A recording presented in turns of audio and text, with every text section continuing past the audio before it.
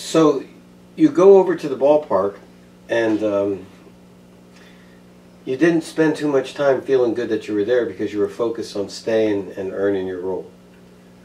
I felt wonderful about being there, but I thought it was way overdue. So I was not intimidated. I felt like it was another ball game. Okay. The stadium was bigger, you know, Sure. and it made an impact. And to tell you the truth, it wasn't Tiger Stadium. It was just another It was just Philadelphia because it wasn't Detroit. I That's get right. it. Was a big league game. I knew Okay. that. It all registered, but there was no intimidation or nothing like that. Uh, I didn't. I didn't play right off the bat. I got one. I hit a fly ball right field my first at bat, and then I caught Jim Kaat.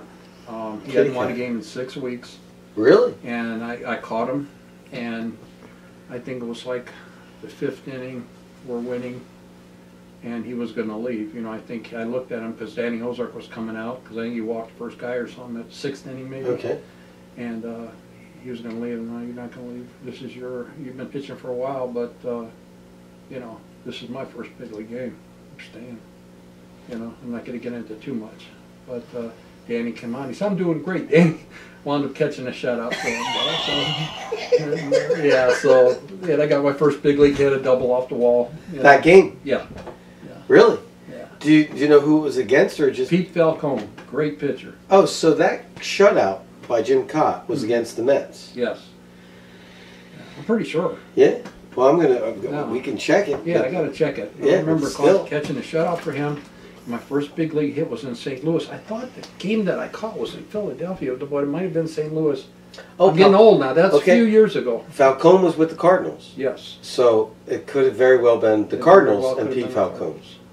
Cardinals. Yeah, I'm trying to. But the bottom line is Jim Kaat got a shutout, Jim Kaat got a shutout. and Bill Nahorodny I got a double. got my first big league hit, and I got the ball. I remember standing on the second base. Hey, give me the ball! Give me the ball! they already had taken it. They already took it in. So as a September call up, I mean a lot of September call ups don't don't get too many games, too many innings, too many at bats. No, I got four or five at bats. I think I got one hit. Oh, so that one hit was your September call up hit. Yep, and I I think I hit the ball every time. I think I don't think I struck out. So seventy six, you get called up. Yep. So now it's the off season between seventy six and seventy seven. Right. This is where, in my world, the legend of Naha grew. This is, in all honesty, you talk to a bunch of people my age, Yeah. a bunch of people that you never knew existed, right? Started to love you, man. Oh. So was, uh, you're you're getting ready because it's the off season, and 1977, uh, you did not end up going back to play for the Phillies in 1977. I 1977 did. in the major leagues. No.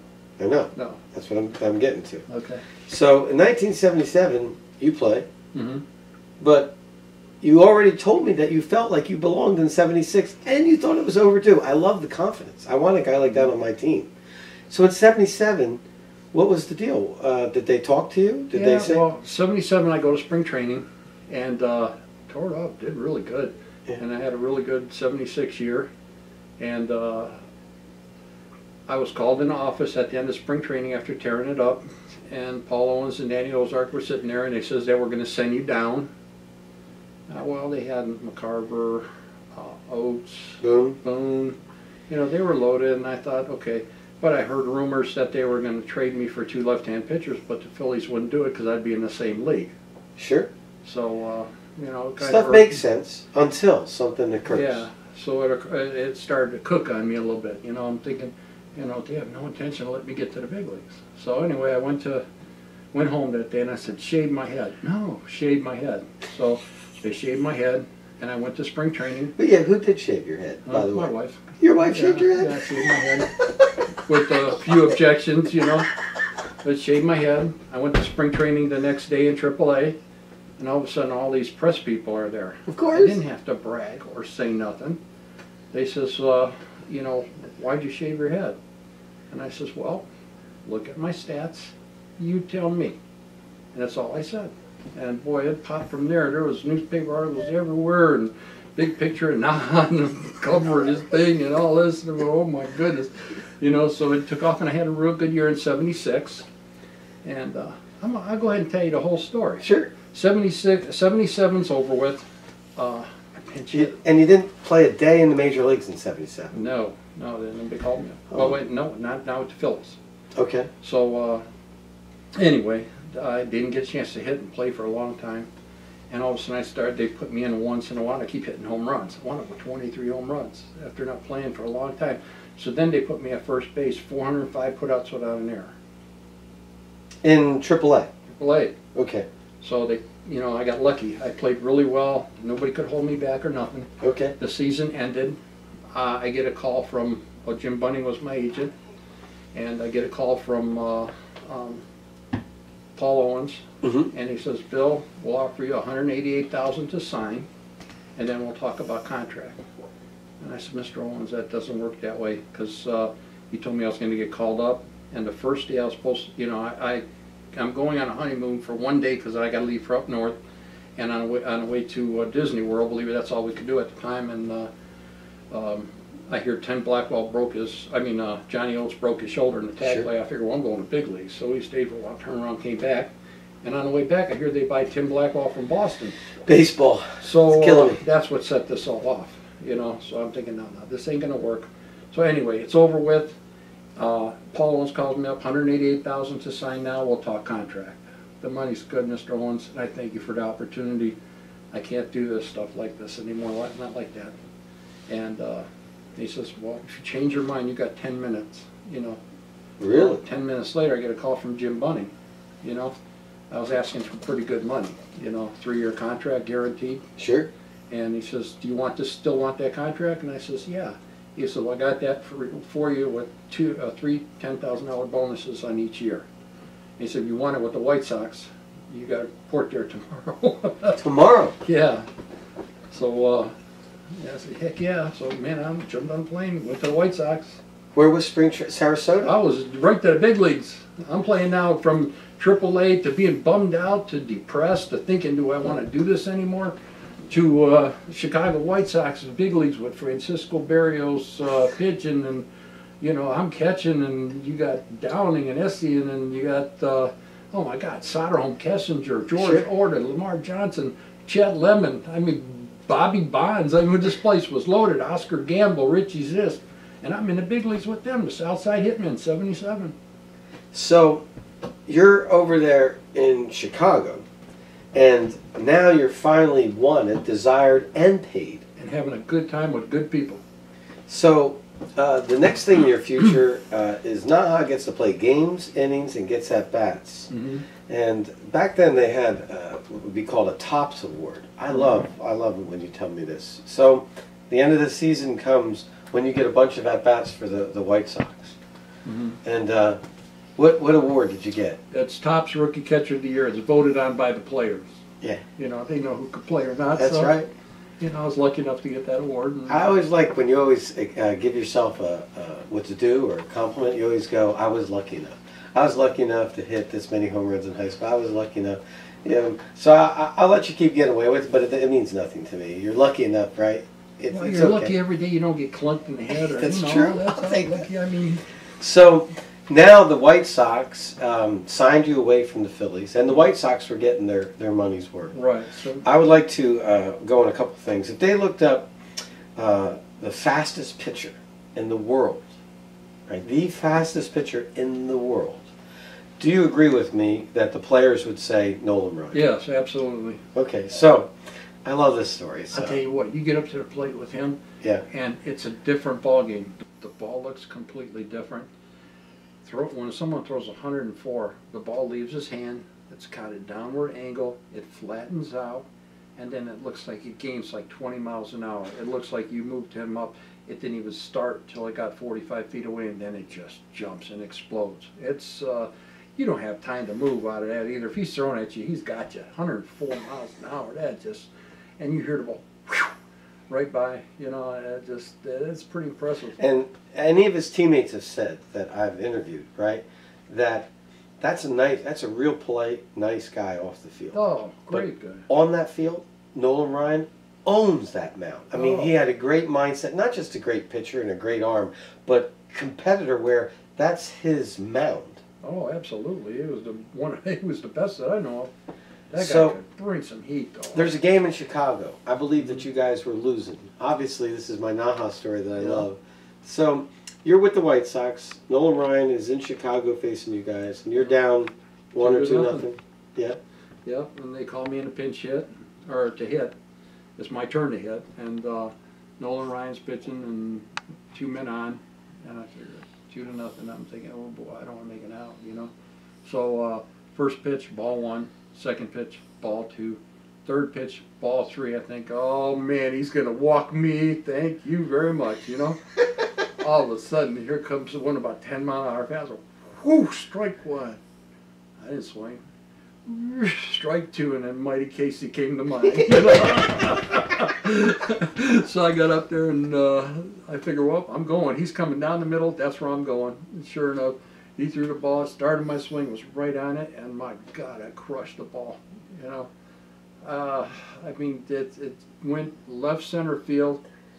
I think it's like 420 or something to that part of the park. It went to the third deck, just missed the roof, and went through the uh, stairway in the third deck. I would love for to measure that thing right now. Oh my God, because I didn't do it. He supplied the power on that one, you know. Sure. But the final score was three to two. We beat him three run homer.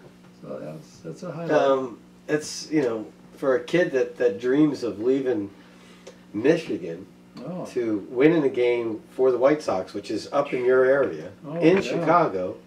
Um, I know it's not Tiger Stadium, but it had to feel good that oh, being in Chicago. It was an incredible feeling. Um, I'm gonna take you back a little further. Sure. I get called up for the White Sox, and I hit my first home run. Okay. you know. Uh, Balor Moore, you Mhm. know, was pitching, and uh, boom, home run. When I get around second base, and you know, I'm from Detroit, you know. All of a sudden, I hear boom, boom, because they had the fireworks. They had them big fireworks. Right. Man, I almost hit the ground. You know, I thought someone shooting.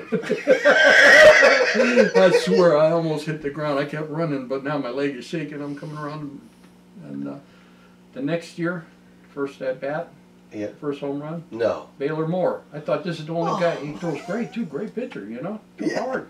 And I hit another home run. I figured it's the only guy in the big leagues I can hit home runs off of. You know. Was your first hit by a pitch the next at bat Balor Moore? No, because no, if I was Balor Moore, yeah, guess what? me too. Yeah, Yeah. you'd be you'd be biting the dirt. Yeah. No.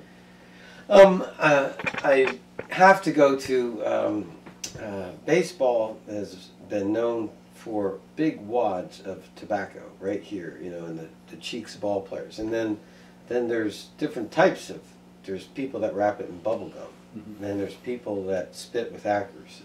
Then there's people that spit for distance. When you play, right, nine months out of the year, right, you do things to keep yourself busy. Oh, good. Yeah. So my first question is, when did you and tobacco become competition, humor, friends? Seventy-two. um, I got a tag plate, home plate, chipped one of my teeth. Right? One of the old timers said, "Throw on the chew." You know, he says that'll protect your teeth and keep the dust out of your mouth. So I threw in the chew. I didn't like it at first, and then you know you get hooked on it. You know, so I had chew all the time, and pretty soon, about a double A ball. Now you start to get a little cocky, Right. and now we're spitting. You can't spit on anybody's pants or socks. You got to hit the shoes, and it's free. It's okay to do that. So we'd sit there and you know hit the shoes and hit the shoes. In fact, I got you when you were 13 or something. so, uh, yeah. so we spit, and I got to where I could speak 20 feet away. I didn't get you. Well, uh, in the Houston Astrodome in 1980 or 81, they had the uh, uh, Beechnut uh, spinning contest on from mound towards home plate. Sure. I think I speed 19 feet 6 inches, the size of a half a dollar, you know, like that, into the, I think, dead center. Half the farmers and the people in there just went home because they're not competitive. They're not going to give it a try. And Right. I won again a beautiful spittoon, nicer than the trophy I got for rookie catcher of the year from Beechnut. Beautiful thing, you know. It's from uh, I won the spinning contest, spit harder than anybody in the United States. Um, when when you were in the big leagues for a year or two, would you be behind the plate and a rookie would come to the, to bat? And uh, would you ever lift the gear, pop them right there in the foot? No, no, I wish I would have though. I I'm just asking. That's a good idea. I've got to, I've got to ask. So your sense of humor would be spitting on little innocent kids Yes. that just wanted to, if you needed something, you know, run two tickets up or grab a bunch of sanitaries for the clubby to wash, and uh, I, I take it I wasn't your only victim though. No, no, no, no. Any little kid on the field was fair game, you know. And other pitchers and other catchers, you know, and manager if he's not looking, you know. So, oh yeah. That's a uh, a great story. If um, if I asked you, here's the most top, uh, the most typical question that is is ever asked. They'll say, besides the words just being there. Okay, so that that's a common answer. But you had some games where you hit two home runs in one game. Uh, you're going to pick one of those as a pretty big thrill.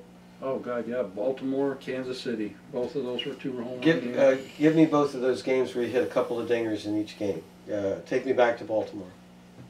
Oh, that's that's a story right there. Baltimore, I remember because you know how people will play the radio in the stands. Sure. And I can remember swinging a bat in on deck circle, and the wind is blowing like crazy. I mean, it feels like 40, 50 miles an hour blowing, and I heard a guy on the radio say, "Nobody's going to hit one out today." Oh, you can hear it as a player in the dugout. Oh, well, yeah, I was sitting on deck circle, and the people in the front row had a radio, so I could Very hear it cool. right next to me. So anyway, I get up to home plate, and I'm like, "Ooh, it is windy." So I'm trying to hit the ball down hard on the ground, maybe get it through. Well, boom! I crush it. Boom! The ball keeps going. It caught some kind of draft way back, home run. I mean, like a blast, you know, but it wasn't a blast. The wind helped it. It was actually Sure. blowing this way, but it took the ball. And the second time up, boom! I hit another home run. Same thing. Wind took it. Is this as a member of the White Sox? This is with the White Sox. Yeah. Okay. And uh, two home runs against them with a 50 mile an hour wind blowing in. Must have been circling in the stadium and just caught it just right two times. And and uh, then for your career, you do it again Yep, when you're City. in Kansas City. Are you a member of the White Sox again, or or who you with? Oh yeah, when- I'm with the White Sox. Okay. And it's uh, Mr. Busby's pitching. For, Steve Busby. Two no hitters, man. Yeah, he threw hard, threw hard, but uh, made a mistake, threw it right in my wheelhouse, and boom, home run number one into their bullpen. Okay. And then uh, second time up, I think it was him again. All right. He threw it, and boom, gone again. So those two home runs there. Feels good. Yep. Um, with with being in the uh, the big leagues, you were with different teams. You were with you were with the Phillies. you're with the White Sox. you're with the Tigers. you're with the Mariners. you're with the Indians. you're with the Braves. Yes. Which pick a team that you. It, it could be a lot. It doesn't have to be at bats and hits. You know what I mean? But it, it, sometimes it's the clubhouse morale. You know, it's the guys. And sometimes you're with a team longer than another team. You know, you're, you're with the White Sox this many years. You're with the Phillies only technically as a September call-up. Right. But what what team, if you could if you could blink your eyes like a dream of genie, I think the Phillies, the first few years when they had uh, Bo, Cash, Schmidt, Luzinski, Bob Boone, all that, that was a tight knit group. That was some kind of team right there. That was awesome. But then you go to Detroit Tigers too. you played for your hometown Tigers. I did, and I got to stay with my parents. You think they weren't thrilled? So Really? was I. Yeah, it was awesome.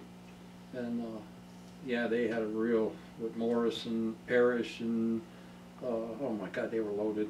You know, It's, Trammell, Whitaker. it's a great team. Yeah. The '84 Tigers are the Tigers that brought the World Series back to Detroit. It's really hard because the White Sox, too, 77 Southside hit, man. Those were some pretty good teams. And then you had the Cleveland Indians where Rick Manning and the Toby Harrah and that bunch. It were, that was a great Andy Thornton. You know, Oh. there's some good ball players there. Here's here's what I'll, I'll put you on the spot, but I'll I'll lead the question into you. There's a lot of sense of humor in baseball. You, uh, Naha yourself, great sense of humor. Um, but with all those teams and all those players, if we're talking about the funniest teammate, the fun, the best sense of humor, the funniest guy you ever were around, is there one name that comes to mind where you know what? For 162 games, month after month of the season, this this teammate was really a funny, funny guy. Does somebody come to mind when I when I say that? Well, yeah, Tug McGraw, he was awesome. I mean, what can say about Tug? That's understood. Um, I, I believe that's called left-handed reliever. oh, yeah. Oh, yeah. And then you had Joe Charbonneau. Oh Yeah, yes, Super Super Joe. Joe. Yeah, what a good guy, though. Yes, And, uh, just generally a funny guy in the oh, clubhouse. yeah, and Ralph Garr. Oh, my God. he Ralph was- Garr's a funny guy in the clubhouse. Oh, my God, he's hilarious. His voice goes up like a little girl, worse than mine when I sing, you know? Right. and uh, he's uh, doubleheader. Um, Rolling Stone concert just finished in Chicago. Okay. Yeah, Ralph Garr, great ball player, one of my all-time favorite hitters, could Right. run, do a lot of things. And, but he wore a helmet on out in the outfield and not because he didn't have a hat, you know, it's because sometimes he missed them, you know. Sure. And we're starting a doubleheader, I think it was against California Angels. And a Rolling Stone concert uh, was over and they pushed over all the urinals and that were in left field. Well, they didn't clean up very well and they threw diamond dust all over the outfield. Well, Ralph just misjudges a ball down the line a little bit and then he winds up diving for it. And he slides through sixty feet of human Waste. waste. And, uh, oh my God, you should have heard the voice and the screaming and then the laughing. And the laughing wouldn't stop. The game's delayed. He has to go in and take a shower, wash off. They're cleaning off the field. You talk about funny. That could be one of the all-time funniest things ever. You gotta imagine Ralph Garr diving and he's covered from head to toe. In urine. No. Oh, Oh. in number two. Yes. And Really? he smelled bad. He smelled bad. And you know, he, oh my God, he went in the shower, he came back out, and he still smelled bad. That's too funny. That was something. That was a bad time for him though, but uh, people, could- both teams couldn't stop laughing.